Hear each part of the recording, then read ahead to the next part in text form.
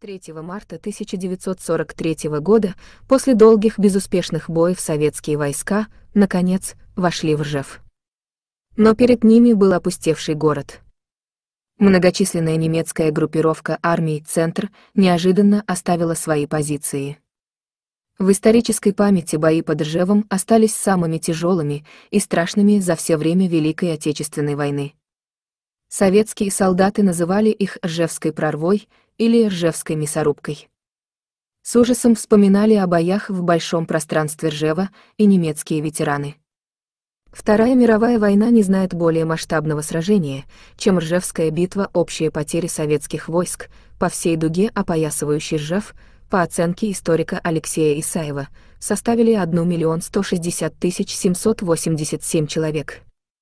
Сколько потеряли немцы, достоверно неизвестно, Однако только за первые три месяца боев они не досчитались более 330 тысяч солдат и офицеров. Буквально каждый пятачок земли под Ржевом был окроплен кровью и усеян трупами.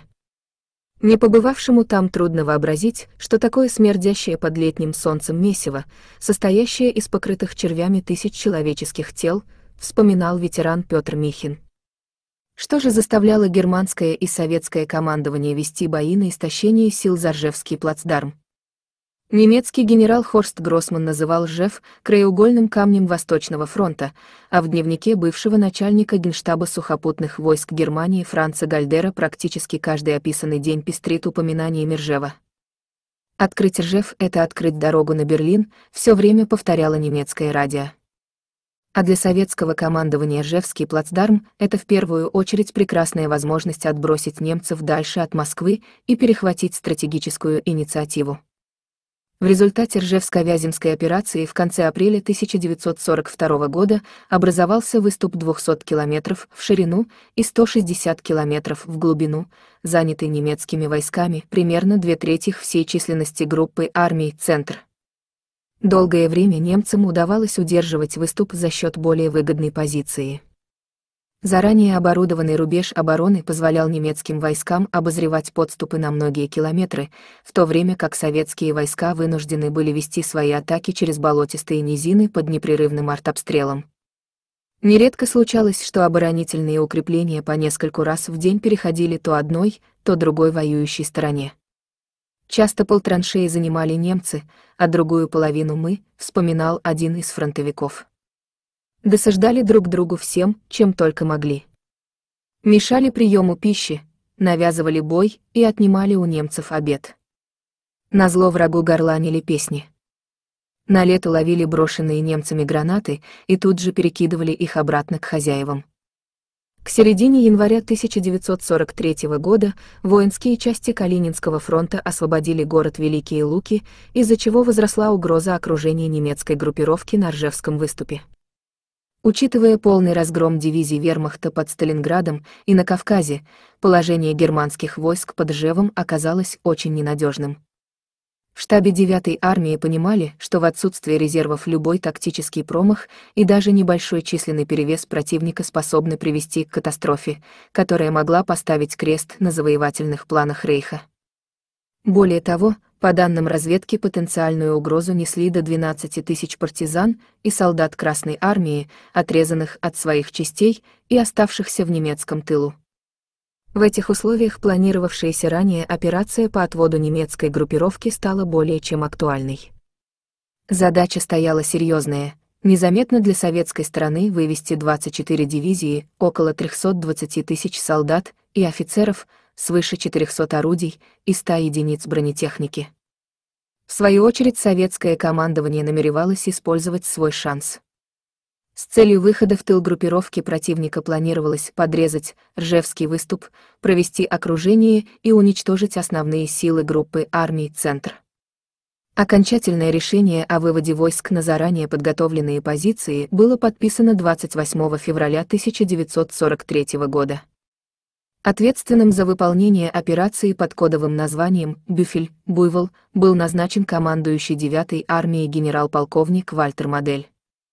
Согласно плану операции, на плечи личного состава вермахта лег целый ряд сложнейших задач. Среди них — создание новой линии обороны, построение 200-километровой дороги для автомобилей и 600-километровой для саней и гужевого транспорта, эвакуация хозяйства, скот, запасы урожая, инструменты и более 60 тысяч гражданских лиц. Наиболее серьезной проблемой оказалась эвакуация гражданского населения. Генерал Фридрих фон Мелентин писал, что старые и малые, здоровые и больные, крестьяне и горожане все настаивали на эвакуации, так силен был ужас перед солдатами и комиссарами их собственной страны. Советская, российская и даже американская историография отрицают возможность добровольной эвакуации мирных жителей. По словам американского историка Стивена Ньютона, приказ эвакуировать местных жителей отдал лично модель. Советских граждан отправляли на принудительные работы по строительству оборонительных рубежей. Кроме того, хотели избежать диверсий и саботажа в ходе подготовительного периода операции и самой операции, заключил историк. В результате успешно проведенной операции немецкому командованию удалось высвободить резервы, которые могли быть переброшены на другие участки военных действий. Вошедшие в Ржев советские части обнаружили в городе только арьергард 9-й арии, создававший видимость присутствия германских войск. Преследование войсками РКК отступающей немецкой армии осложнялось хорошо обустроенными оборонительными позициями, минными полями и разрушенными коммуникациями. Сильно тормозило продвижение советских войск и весенняя распутица, начавшаяся в середине марта.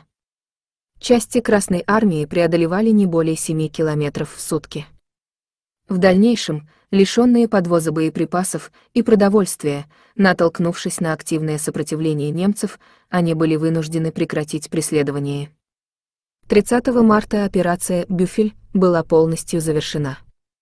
«Примите мои самые горячие поздравления по случаю освобождения Жева», писал Сталину Уинстон Черчилль.